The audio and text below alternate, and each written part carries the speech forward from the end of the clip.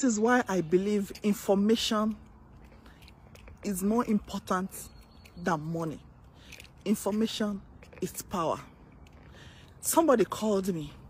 I can call her a family friend, but we're not that close when I was in Nigeria. I didn't know this family has been for over six good months. They didn't tell me when they were coming.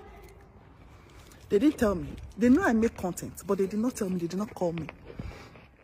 They've been in the UK for over six months. Do you know why they called me? The woman was crying. She was crying. She was in Nigeria doing not too bad, doing good, but averagely. They're, they're not thinkingly rich, but they're average.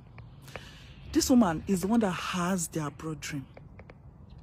So she was the one that pushed, I would not say pushed, encouraged the husband for them to travel to the UK. They did not tell me, they did not phone me.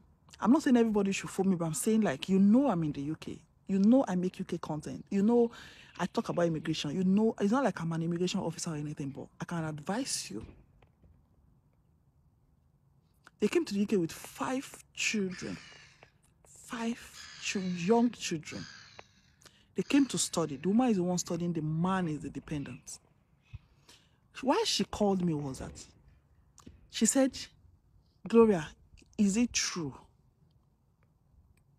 Gloria, is it true that she has to pay for post-study work visa after her studies? I'm like, of course. She said she didn't know. She was crying bitterly.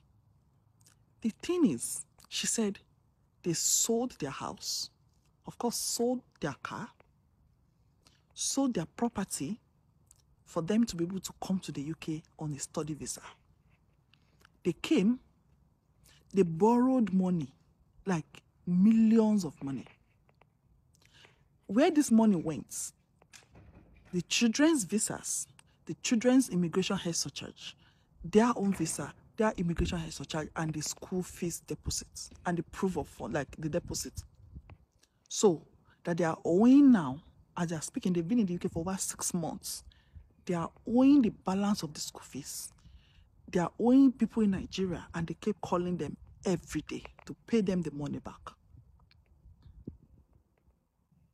She was calling me because she wanted me to borrow her money. She was crying, like, I mean, bitterly. She was crying. She said she regrets coming to the UK. That nobody told her. I said, no, there's no way somebody did not tell you. Just that you will have said, be one of the people that will have said, eh, be you, you are there, you are there. Let us come. We come, we'll be all right.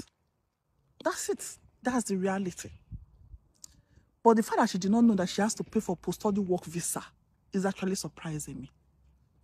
She said she thought it was automatic.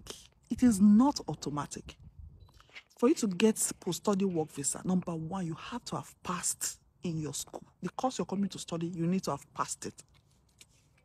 If you don't pass it, you're not going to get post-study work visa. Now, she said she cannot even read. She'll go to school. She'll be crying in the lecture.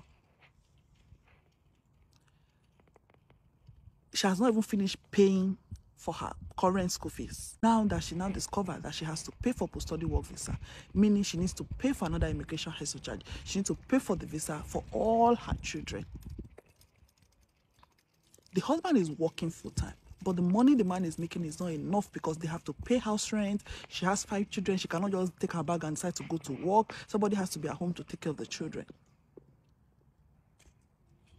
The husband is working, but the money is not enough to cover all their bills. Now she's stranded. She's looking for money. People in Nigeria are calling her because they believe that the moment she gets to the UK, she'll be able to pay the money back. Before she found house, she couldn't find a accommodation for almost three months, according to her. So that was where some of the money also went because they were paying for hotels and B&Bs and moving from one place to the other.